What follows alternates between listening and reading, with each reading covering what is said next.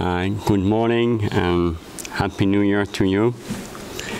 It's an honor and a pleasure to be able to continue to serve you and the membership for the coming four years under the leadership of Houlin Zhao and as part of a team uh, of very united elected officials.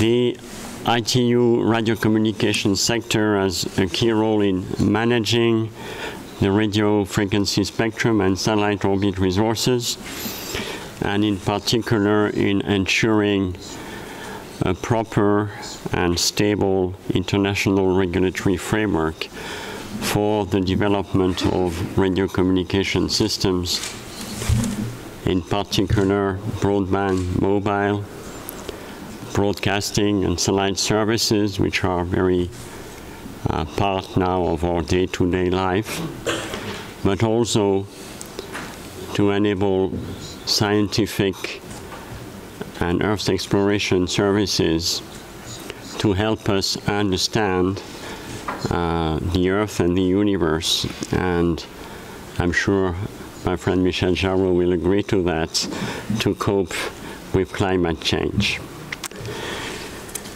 This year, 2015, will be marked with um, the 2015 ITU Radio Communication Conference, which will pave the way for the harmonious development of radio communication services in the coming future.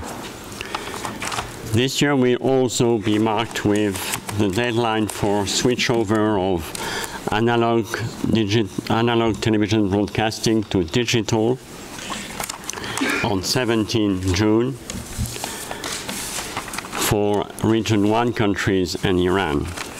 This represents a critical milestone for making available the spectrum resources which correspond to the digital dividend, hence ensuring the reduction of the digital divide throughout the world.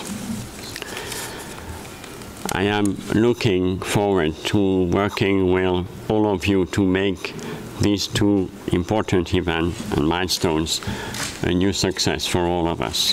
Thank you very much.